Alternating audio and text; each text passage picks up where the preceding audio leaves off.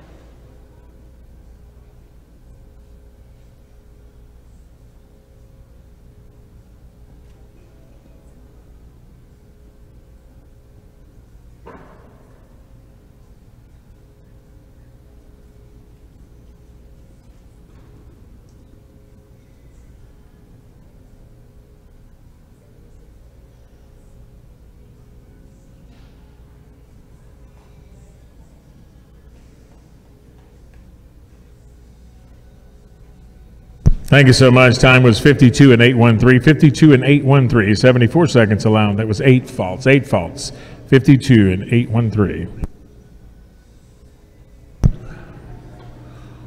We'll go next, ladies and gentlemen. After our course is squared away, we go to draw number two. It's 7127 Queen of Irondale. A 2014 mare by the only escape out of Diva in a blue dress. Janine Shira, Stephenson, Michigan. The exhibitor, Nikki Leo the owner, and Jennifer Cladney, the breeder, draw number two.